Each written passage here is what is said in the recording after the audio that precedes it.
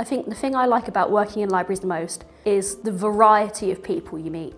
There's the staff to start with who are all incredibly welcoming. It's a really inclusive team.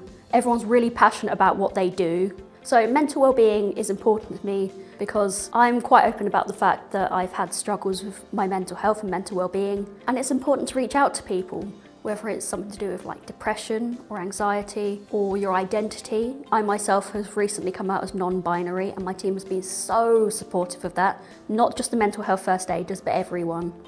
For accepting me, for me, I choose East Sussex.